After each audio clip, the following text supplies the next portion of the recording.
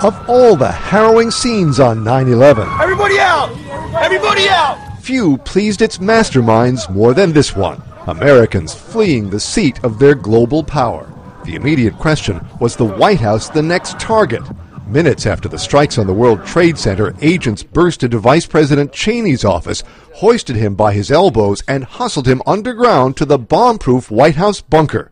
Among those rushing to join him there, then Transportation Secretary Norman Mineta. You know, you always heard about the um, quote invincibility of the of the uh, the bunker. Uh, today, we've had a national tragedy. With President Bush traveling in Florida, Cheney and the others scrambled for information.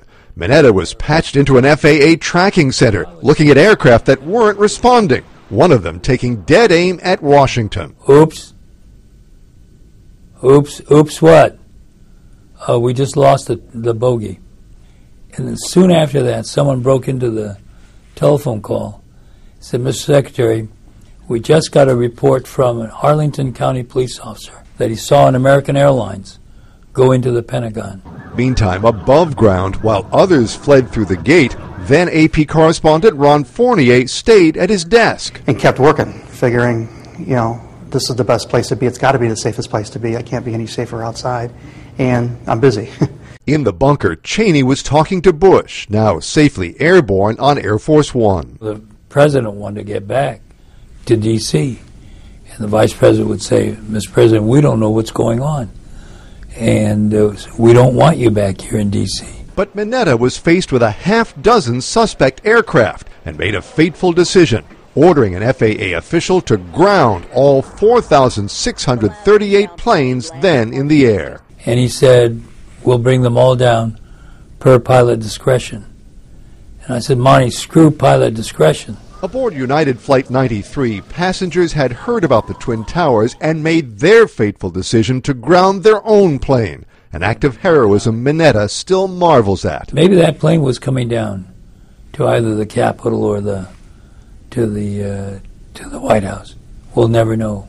Again, above ground, an armed Secret Service agent finally ordered Fournier out. but by now, the rest of the civilians were out of the White House. It was just the agents and I guess, you know, some military. And in the bunker, Cheney also gave a fateful order, telling an aide Bush had authorized the shoot down of any plane that wouldn't divert. The young man said to the vice president, Do the orders still stand?